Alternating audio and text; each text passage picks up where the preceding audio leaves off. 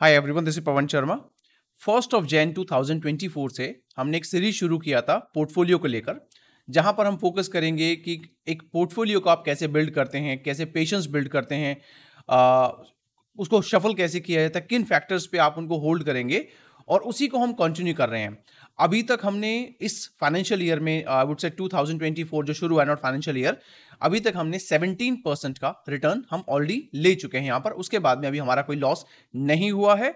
So almost like 1.75 one lakh seventy का हमें profit हो चुका है विच इज़ अराउंड 17 परसेंट और अभी तक हमने कोई लॉस बुक नहीं किया है। इसी सीरीज़ को आगे बढ़ाते हैं। कुछ टाइम से हम इसको फॉलो नहीं कर रहे हैं। इट डज नॉट मीन कि हम इसको मॉनिटर नहीं कर रहे हैं। इट सिंपली मीन्स लास्ट के कुछ दिनों के अंदर मार्केट काफ़ी रैटिक है और इस टाइम पे ज़बरदस्ती अपने पोर्टफोलियो को अप डाउन करेंगे तो सिर्फ़ आप ब्रोकरेज जनरेट करते हैं और नथिंग एल्स आपको वापस से आना वहीं पर है। आपका मार्केट थोड़ा सा ऊपर चला जाएगा, नीचे आएगा, फिर से आप रीबाई करेंगे। तो जब तक कोई मार्केट एक क्लियर इंडिकेशन नहीं देती है, तब तक मैं कहूँगा आपसे कि आपको ज़बरदस्ती अपने पोर्टफोलियो हाँ कोई ऐसा स्टॉक है, जैसे हम कई बार हम स्टॉक से निकाल देते हैं बीपीएल स्टॉक हमने निकाला हमने कुछ फर्टिलाइज़र स्टॉक्स भी निकाले थे। तो वो स्टॉक जो परफॉर्म नहीं कर रहे हैं और उनका आगे ग्रोथ अपॉर्चुनिटी नहीं नज़र आ रही है, उनको डेफिनेटली आपको निकालना चाहिए। लेकिन कोई स्टॉक ऑलमोस्ट उसी लेवल के आसपास स्ट्रगल कर रहा है, उसी लेवल के आसपास ट्रेड कर रहा है सिंपल है कि वो कंसोलिडेशन फ़ेज़ में है और यहाँ से वो भागेगा। कंसोलिडेशन फ़ेज़ का मतलब ये नहीं होता कि सिर्फ़ इतना ही कंसोलिडेट करेगा। कभी कभी 50 पॉइंट की रेंज में स्टॉक कंसोलिडेट कर सकता है कभी कभी 20 पॉइंट की रेंज में स्टॉक कंसोलिडेट करता है। और जब तक स्टॉक अपने सपोर्ट लेवल के आई वुड से ऊपर रहता है तब तक हम उसको जल्दी से छेड़ते नहीं हैं। तो उसी सीरीज़ को आगे बढ़ाते हैं और अगर आपने नया ज्वाइन किया है तो पुरानी वीडियोस को आप एक बार जस्ट फॉर इन्फॉर्मेशन ज़रूर चेक कीजिएगा, लेकिन नई शुरुआत, नई वीडियो के साथ कीजिएगा तो आपको करना क्या है प्लेलिस्ट में जाइएगा और अगर अभी तक आपने हमें सब्सक्राइब नहीं किया है तो पहला काम अभी सब्सक्राइब बटन पर क्लिक कीजिएगा बेल आइकन प्रेस कीजिएगा, ताकि सारी वीडियो की नोटिफिकेशन आपको मिलते रहे और डिस्क्रिप्शन बॉक्स में कुछ लिंक्स अवेलेबल हैं, कुछ डीमेट अकाउंट्स के लिंक मिलेंगे हमारे वेबसाइट का लिंक मिलेगा जहाँ पर आपको डीप लर्निंग के लिए काफ़ी सारे कोर्सेज हैं प्लस लाइव सपोर्ट के लिए। इनफैक्ट हमने कुछ लास्ट वीक में लाइव सपोर्ट ही आपको प्रोवाइड किया है। टेलीग्राम के थ्रू वहीं पर हमने एक दो स्टॉक्स को ऐड किया है और उसको आ, मैंने कहा था कि आप ऐड कर सकते हैं और कुछ स्टॉक्स के बारे में मैंने आपको अपडेट भी किया था। तो उसको ज़रूर ज्वाइन कीजिएगा। टेलीग्राम का लिंक आपको इसी वीडियो के नीचे डिस्क्रिप्शन बॉक्स में मिल जाएगा। तो जब आप प्लेलिस्ट पे क्लिक करेंगे तो आपको कुछ हमारे प्लेलिस्ट मिलेंगी। उसमें हमारा जो प्लेलिस्ट है इस सीरीज़ को लेकर वो है लेट्स डबल यू मनी। जब आप इस पर क्लिक करेंगे तो आज की वीडियो और इससे पहले की सारी वीडियोस आपको यहाँ मिल जाएँगे तो आप इसको चेक कर सकते हैं starting from the first second video से कि हमने इसको कैसे शुरू किया था टेन लाख के कैपिटल के साथ शुरू किया था। और इसको हम ये वाला वीडियो भी इसी में ऐड हो जाएगा और आने वाली वीडियोज़ भी आपको यहीं मिलते रहेंगे, इसलिए बेल आइकन प्रेस ज़रूर कीजिएगा ताकि आपको लेटेस्ट इन्फॉर्मेशन मिल सके। कुछ टाइम से आपको लग रहा होगा मैं आपको अपडेट नहीं कर रहा हूँ।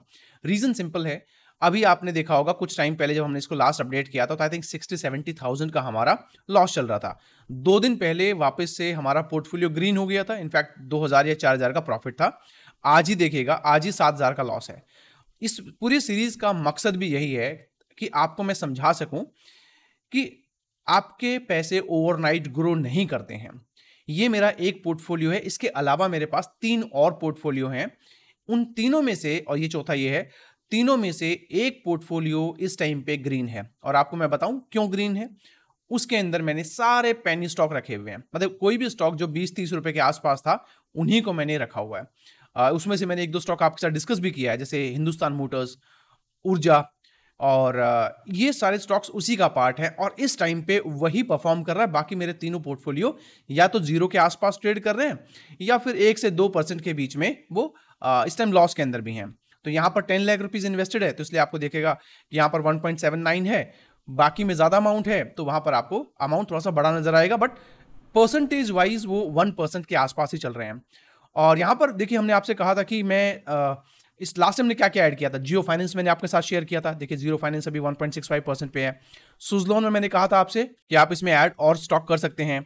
येस बैंक में आप थोड़ा सा ऐड कर सकते हैं। ए का हम वेट कर रहे थे, लेकिन ज़्यादा स्टॉक नहीं है सर फिफ्टी थाउज़ेंड इन्वेस्टेड है। तो ठीक है, अभी होल्ड कर सकते हैं। बंधन बैंक का ऑलमोस्ट ऑन कॉस्ट है। मुझे लग रहा है कि इससे हमें निकल जाना चाहिए। तो ये एक स्टॉक है जो आप मंडे को हम यहाँ से एग्जिट कर लेंगे।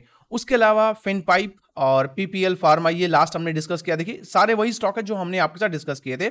आईआरडीए फिर से हमने ऐड करना शुरू कर दिया है। जोमेटो हमने फिर से ऐड करना शुरू कर दिया। पहले हम प्रॉफिट बुक कर चुके थे। इसी के अंदर मैं और भी स्टॉक्स को ऐड करूँगा। फ़िलहाल अगर आप देखेंगे तो total invested amount ten lakh forty one thousand है और करंट जो इसमें है वो 22 है।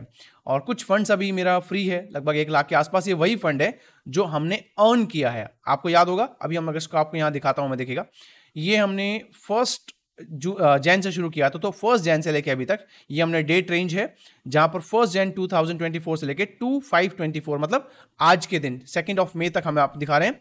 अभी तक हमने कितना किया है? 1.75 एक्जैक्टली वही अमाउंट है तो हमने 10 लाख से शुरू किया था ये हमारा अभी तक आ, अच्छा खासा प्रॉफिट है। So this is also good 17 percent की बात करें अगर मैं इस पूरे अकाउंट को ऐसे ही मेंटेन करता रहूँगा तो मुझे लगता है कि आराम से 25 परसेंट के आसपास इस साल में या फिर मैं थोड़ा सा और अच्छी मार्केट आएगी तो 35 लास्ट ईयर का मेरा जो रिटर्न था वो 35 परसेंट का रिटर्न था। 35 से लेकर 38 परसेंट का। यही टारगेट मेरा इस साल के लिए भी है। अभी देखिएगा, जनवरी में हमने कुछ बुक किया था फेब में हमने कुछ बुक किया था। अगर आप चेक करेंगे तो मार्च में सिर्फ़ हमने दो बार, दो स्टॉक पे किए थे, एक इलेवंथ को और फेब में ट्वेंटी को जिनमें हमने लॉस बुक किया था। उसके अलावा देखिएगा अप्रैल में दो स्टॉक हमने बुक किए थे। दोनों में प्रॉफिट बुक किया है। मई में और फिफ्टींथ के बाद में हमने ना तो कोई स्टॉक ऐड किया मतलब ऐड किया, लेकिन किसी स्टॉक से एग्जिट नहीं किया है। और आज हम सेकेंड ऑफ़ मे तक हैं। तो आप समझ जाइएगा कि अभी जो भी मैं आपके साथ शेयर कर रहा हूँ, उसमें ट्रांसपेरेंसी सेम है। और यही चीज़ मैंने आपके साथ कहा भी था कि यार, आप अपने पोर्टफोलियो में ये वाले स्टॉक ऐड कर लीजिएगा। रतन पावर जैसे एक पेनी स्टॉक है, उसके अलावा सुजनोल में थोड़ा सा हम ऐड कर सकते हैं। आने वाले दिनों में मुझे लगता है कि मैं बंधन बैंक से निकलूँगा। और बंधन बैंक को अगर हम एग्जिट करते हैं तो हमारे पास अगला स्टॉक कौन सा होगा? चेक कर। जब हम बंधन बैंक से निकलेंगे तो मैंने जो स्टॉक फाइंड किया है, वो भी बैंक ही है बट ये हमारा उत्कर्ष स्मॉल फाइनेंस बैंक है। इसको मैंने पिक किया है। तो यहाँ पर हम कहाँ पर एंट्री लेंगे? अभी एंट्री इसमें नहीं आया है। मैं आपको थोड़ा सा अर्ली शेयर कर रहा हूँ। जब इसको ऐड करेंगे तो भी मैं आपको अपडेट करूँगा। तो सिर्फ़ एक टेक्निकल पर्पज के लिए आप इसको चेक कर लीजिएगा। और ये बाइसल रिकमेंडेशन बिल्कुल नहीं है इन्वेस्टमेंट एडवाइस बिल्कुल नहीं गाइज़ कोई भी ट्रेड अगर आप लेते हैं तो एक बार अपने फाइनेंशियल एडवाइजर से सलाह ज़रूर कर लीजिएगा, तभी का आपको कोई ट्रेड लेना है। अभी हमारे पास जो करंट में इसके पास में सपोर्ट निकल के आ रहा है दैट इज़ कमिंग अराउंड 50 तो हमारे पास यहाँ पर उत्कर्ष में जो एंट्री रहेगी that will be anywhere from fifty two fifty two और याद रखें, जब स्टॉक फॉल कर रहा होता है तो हम एंट्री नहीं लेते हैं। स्टॉक जब यहाँ पर आएगा और राइज करना शुरू करे, आपको 53 पे भी मिले, चलेगा, लेकिन जब स्टॉक राइज करे, तभी आपको एंटर करना है। यहाँ पर जो ये मूविंग एवरेज देख रहे हैं, ये 10 और 20 का ईएमए e है आप देखिए, अभी इसने रिसेंटली ही यहाँ पर बीरिश क्रॉसओवर शो किया है। इस टाइप की क्रॉसओवर आपको मिलेगा जब ये राइज करेगा तो ये एक बुलिश क्रॉसओवर है। तो उत्कर्ष स्मॉल फाइनेंस बैंक जब राइज करेगा, तभी आपको इसमें अपनी पोजीशन लेनी है। और एक और चीज़ याद रखिएगा, वो ये है कि आपने कभी भी किसी भी स्टॉक के अंदर बड़ा अमाउंट इन्वेस्ट नहीं करना है। आपने देखा होगा मेरे पास पचास हज़ार लाख रुपए से ज़्यादा किसी भी स्टॉक में इन्वेस्टेड नहीं है। जब वो बढ़ना शुरू करता है तो वो पैसा अपने आप बढ़ जाता है। और जैसे ही पैसा डबल हो जाएगा तो मैं उसमें से अपनी पोजीशन कट करके उसी पैसे को निकाल के दूसरे स्टॉक में डालूँगा। यही तरीका होता है ट्रेडिंग का और यही होता है इन्वेस्टिंग तो हम जैसे हमारे पास बुलिश क्रॉस ओवर आएगा या फिर इसी लाइन के आसपास आने के बाद में रेक्टेंगल फॉर्म करे राइज करे, तभी मुझे स्टॉक में एंटर लेना है। तब तक मैं थोड़ा सा और चुप बैठूँगा। और फ़िलहाल के लिए मैं अपने पोर्टफोलियो को अभी नहीं टच कर रहा हूँ। We are still keeping it as same कोई नया अपडेशन आएगा तो उसका मैं अपडेट आपको टेलीग्राम पर पोस्ट डेफिनेटली कर दूँगा और उत्कर्ष में अगर हमें अभी इमीडिएटली एंट्री मिली तो मैं आपको टेलीग्राम पर ज़रूर पोस्ट उसको ज़रूर ज्वाइन कर लीजिएगा। तो गाइज़ ये है अभी लेटेस्ट अपडेट एज सेड कोई नया अपडेट मैं इसमें आपको नहीं दे रहा हूँ फ़िलहाल के लिए सो स्टे ट्यून्ड और थोड़ा सा पेशेंस बिल्ड रखिए। राइट टाइम नहीं है नई पोजिशन बनाने का इनफैक्ट ना ही यहाँ से निकलने का, जब तक ट्वेंटी टू थाउज़ेंड के ऊपर मार्केट है।